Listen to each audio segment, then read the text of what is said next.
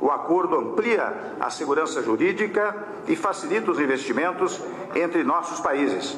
É contribuição adicional para a nossa meta de criar mais crescimentos, mais empregos e mais renda.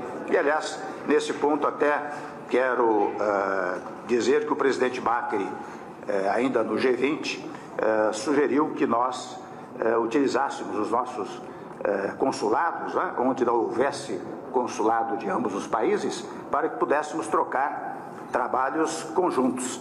E eu quero dizer, fui informado pelo nosso ministro Luiz Nunes, que já escolhemos dois consulados brasileiros para iniciar o programa, Vancouver e Amsterdã.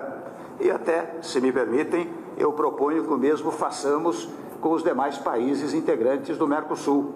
Quem sabe podemos também trocar fórmulas de trabalho com todos os países do Mercosul, tal como hoje estamos fazendo com a Argentina. Trata-se, portanto, meus amigos, de verdadeira mudança de paradigma quando avançamos eh, no livre comércio, quando identificamos conjuntamente quase 80 entraves de distinta natureza às trocas dentro do Mercosul.